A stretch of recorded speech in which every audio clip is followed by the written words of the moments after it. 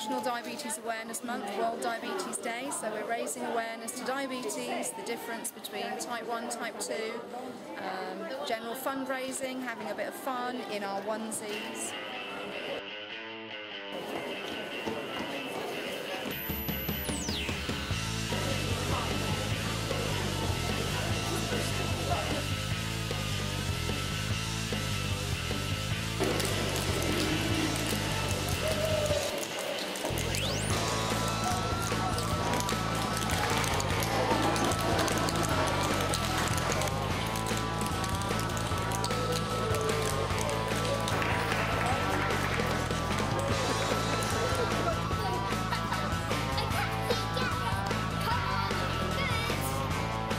You got some in there, I can hear it happening already.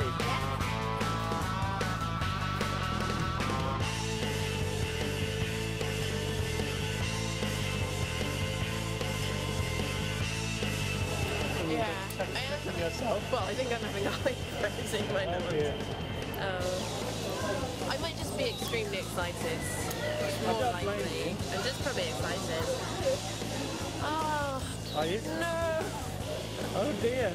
I'm a type 1Z having a hypo. Have you got on you? I've got some drinks.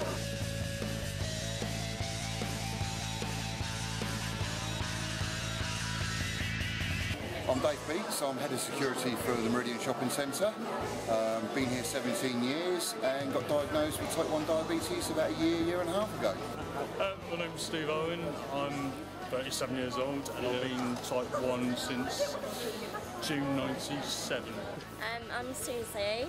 I'm here with my husband Steve, who is type 1 diabetic. Um, my name's Laura and I've had type 1 diabetes for 12 years. I was diagnosed when I was 16 years old. Um, I'm Aileen Winchcombe and I'm 12 at the moment. I got diabetes in 2010. I'm Jane Winchcombe and I'm here because my daughter Amy is type 1 diabetic. Um, the first injection that I did at home took two hours to do. I was going into like hyperventilating and I ended up having three adults trying to help me. I was like, no, I'm doing it myself.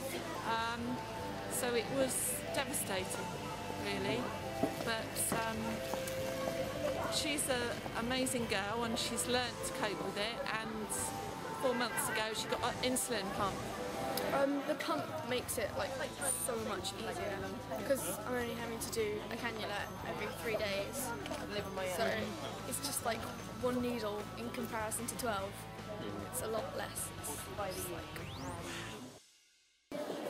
I can't remember the whole incidences leading up, leading up to going to the doctors, but he tested me and my sugar levels were something like about 33.3.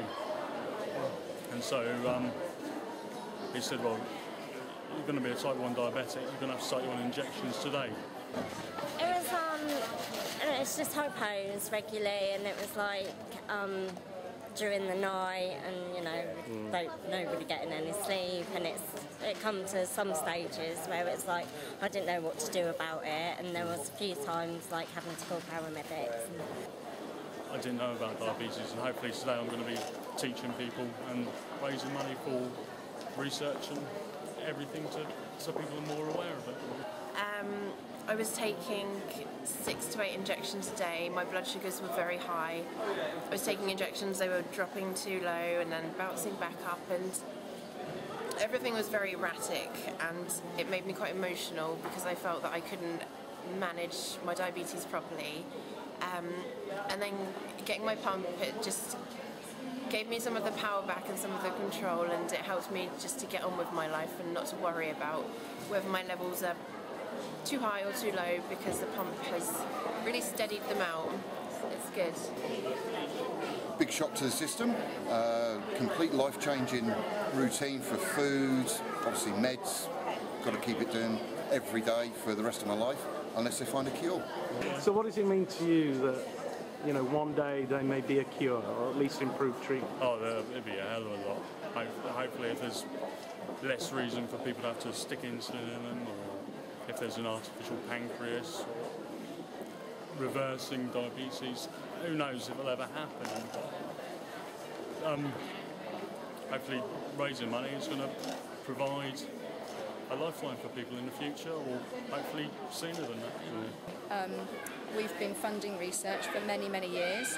Um, we've seen some advances with our own research funding in the provision of an isolation facility in Oxford. Uh, the National Health Service and Department of Health recognised that that could be a potential new treatment and decided to find funding for islet transplants for people with type 1. Um, so we've seen that happen in our lifetime, in our short 15 years. You're a young person. What would it mean to you if there was a, a cure found? It would be amazing.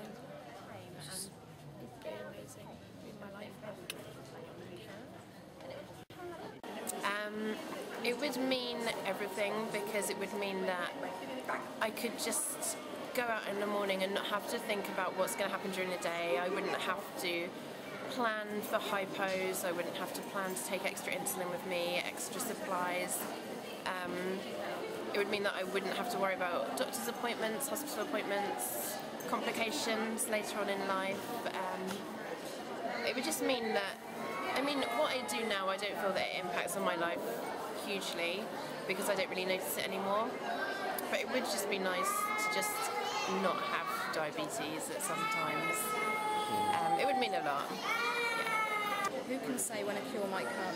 But we have to continue working towards that. And I think the hope for people with diabetes comes through coming together and working together as a group like this to raise awareness, to raise money, and continue funding that research.